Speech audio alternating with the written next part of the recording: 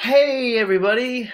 It's Mr. Oskin here with your remote library read aloud of the day. From Tumblebook Library, we are going to be reading Clothesline Clues to Jobs People Do. And in this story, we're going to get clues from the clothesline and we're going to try to guess the job this person does.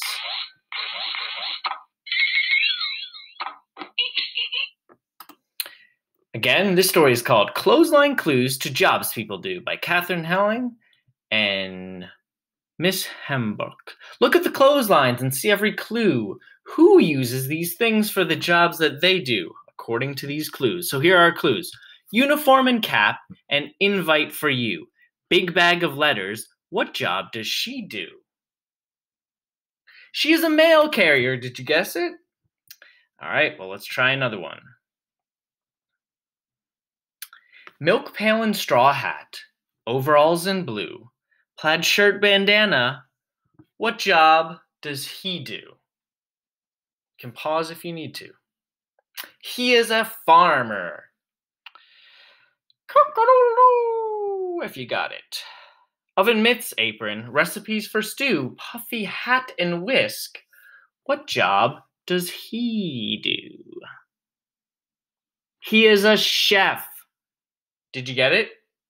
Roll out that pin, that rolling pin if you got it. Smock barrette and brushes, paints of every hue, canvas and easel. What job does he do? I'm going to let you read it this time. He is an artist. Coveralls, tote, tool belt, work gloves and glue, safety glasses, saw. What job does she do? She is a carpenter.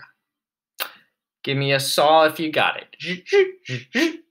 Heavy pants, helmet, wide suspenders too. Rescue coat, long hose. What job does she do?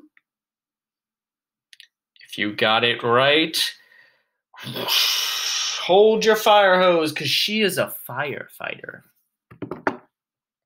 Spacesuit and jetpack. Star charts to review.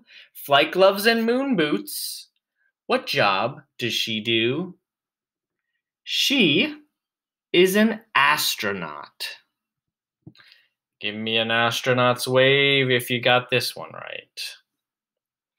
These clothes are all clues to jobs people do. Is one of these jobs right for you? Launch party. Good luck. The end. Thanks for tuning in for this Tumble Book Library read aloud remotely from Mr. Oskin's remote library class. Good to see you. Hope you enjoyed reading. Catch you next time.